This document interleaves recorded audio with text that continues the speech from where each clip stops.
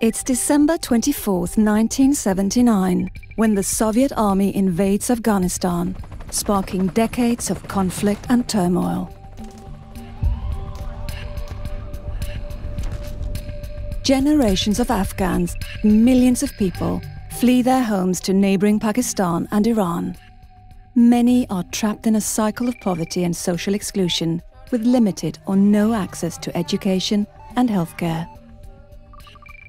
UNICEF Iran, concerned at the worsening situation for Afghan children, was looking for ways to include refugees and migrants within the wider society to give them a chance for a better future.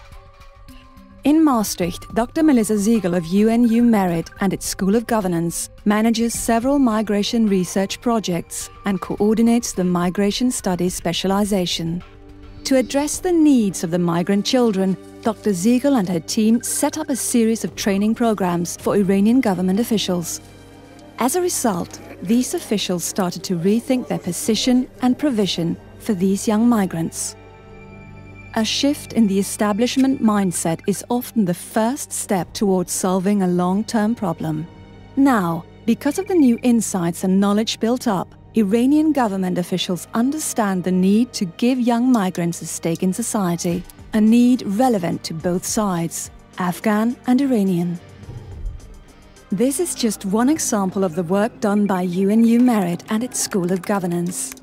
We regularly partner with international organizations, as well as the governments of developing countries via our DEIP program Together, we help emerging economies to catch up in the unequal global playing field of the 21st century.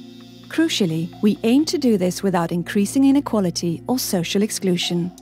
We're also a research centre and graduate school with around 80 PhD fellows and 100 master's students, possibly the next generation of world leaders. And as a UN think tank, we address a broad range of policy questions on science, innovation, and good governance. As in India, where Dr. Andy Hall of UNU Merit was asked to work on a problem as old as farming itself fodder. Rural households rely on livestock for their livelihoods. Yet, despite the wealth of knowledge and technologies developed, good and affordable fodder remains scarce.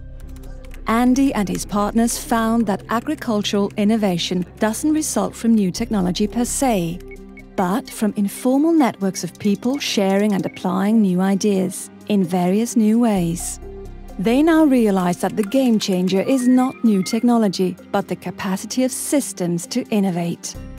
Implementing these ideas and seeing them work laid the foundations for a mind shift, a shift now taking place from top to bottom, from government officials to farmers in the field. Driven by real world problems and together with partners worldwide, we seek tailored solutions and roll them out through policy oriented research and training. UNU Merit, based in Maastricht, serving the world.